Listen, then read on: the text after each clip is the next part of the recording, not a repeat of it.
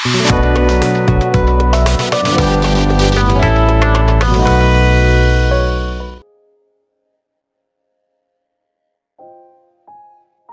pagi dan shalom. Selamat berjumpa kembali dalam Renungan Harian Toraya edisi Sabtu 20 Mei 2023.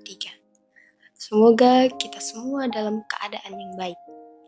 Sebelum memulai aktivitas kita hari ini, marilah kita membaca bahkan mendengarkan firman Tuhan. Untuk itu, mari kita berdoa. Bapa kami di sorga, terima kasih atas penyertaan-Mu dalam kehidupan kami. Saat ini kami akan membaca dan mendengarkan firman-Mu. Biarlah dalam kuasa roh kudus firman-Mu kami dapat pahami lalu kami lakukan dalam hidup kami. Firmanlah ya Tuhan, kami siap mendengarkan firman-Mu. Kami berdoa hanya di dalam Yesus Kristus, Tuhan dan Juru Selamat kami. Haleluya. Amin. Pembacaan kita hari ini terambil dalam Yohanes 16 ayat 16 sampai 24 di bawah judul Duka Cita yang Mendahului Kemenangan. Tinggal sesaat saja dan kamu tidak melihat aku lagi, dan tinggal sesaat saja pula dan kamu akan melihat aku. Mendengar itu, beberapa dari muridnya berkata seorang kepada yang lain, Apakah artinya ia berkata kepada kita, tinggal sesaat saja dan kamu tidak melihat aku, dan tinggal sesaat saja pula dan kamu akan melihat aku dan aku pergi kepada Bapa. Maka kata mereka, apakah artinya ia berkata tinggal sesaat saja? Kita tidak tahu apa maksudnya. Yesus tahu bahwa mereka hendak menanyakan sesuatu kepadanya. Lalu ia berkata kepada mereka, Adakah kamu membicarakan seorang dengan yang lain apa yang kukatakan tadi, yaitu tinggal sesaat saja dan kamu tidak melihat aku, dan tinggal sesaat saja pula, dan kamu akan melihat aku. Aku berkata kepadamu, sesungguhnya kamu akan menangis dan meratap, tetapi dunia akan bergembira. Kamu akan berduka cita, tetapi duka citamu akan berubah menjadi sukacita. Seorang perempuan berduka cita pada saat ia melahirkan, tetapi sesudah ia melahirkan anaknya, ia tidak ingat lagi akan penderitaannya karena kegembiraan bahwa seorang manusia telah dilahirkan ke dunia. Demikian juga kamu sekarang diliputi duka cita. Tetapi aku akan melihat kamu lagi dan hatimu akan bergembira. Dan tidak ada seorang pun yang dapat merampas kegembiraan itu daripadamu. Dan hari itu kamu tidak akan menanyakan apa-apa kepadaku. Aku berkata kepadamu, Sesungguhnya segala sesuatu yang kau minta kepada Bapa akan diberikannya kepadamu dan dalam namaku. Sampai sekarang kamu belum meminta sesuatu pun dalam namaku. Mintalah, maka kamu akan menerima, supaya penuhlah sukacitamu. Amin.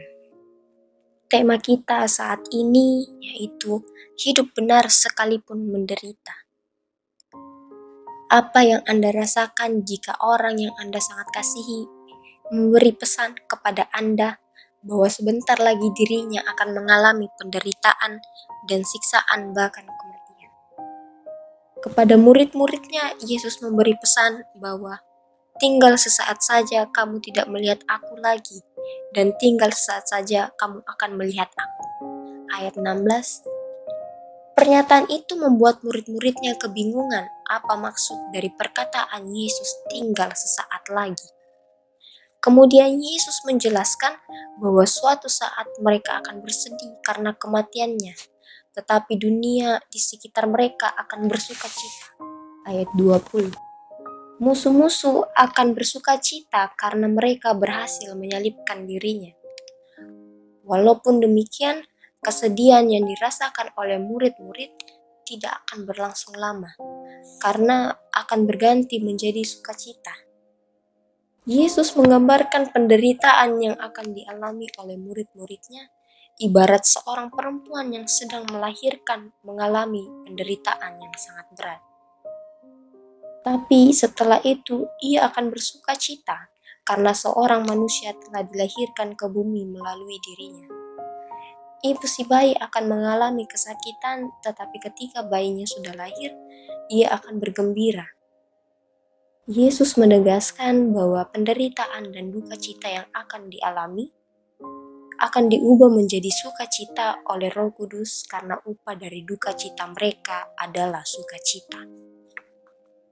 Beriman kepada Yesus membutuhkan sikap tentang bagaimana bertahan hidup dalam penderitaan karena kebenaran.